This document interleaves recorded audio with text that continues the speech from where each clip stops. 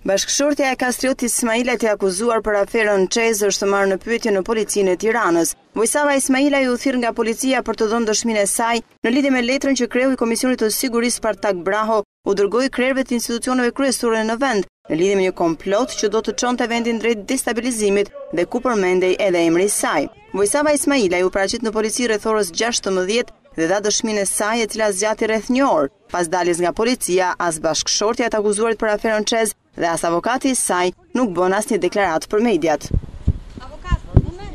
Unë kam qenë një shoqër, një shoqërues. Po për çfarë u pyet klienti? Por burime pranë policisë së Tiranës bëjnë me dije për Ora News se Vojsava Ismailaj ka dëshmuar se nuk është kërcënuar asnjëherë nga Tom Doshi, por nga disa persona të tjerë. Pritet që në Policinë e Tiranës të japin dëshminë e tyre Edhe deputeti Tom Doshi dhe ish-ministri Dritan Prifti, të përmendur në letrën e Spartak Brahos si personat që po shantazhojnë bashkëshorten e Ismailajt e po komplotojnë kundër kreut të Kuvendit, Ilir Meta.